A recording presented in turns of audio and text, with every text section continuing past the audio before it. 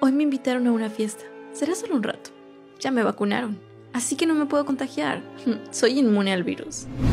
La fiesta se salió de control. Había mucha gente y nadie usó cubrebocas. Hoy dos amigos han muerto y yo estoy a punto de ser intubada. La decisión está en tus manos. ¿Qué prefieres? ¿Festejar y morir o cuidarte y vivir?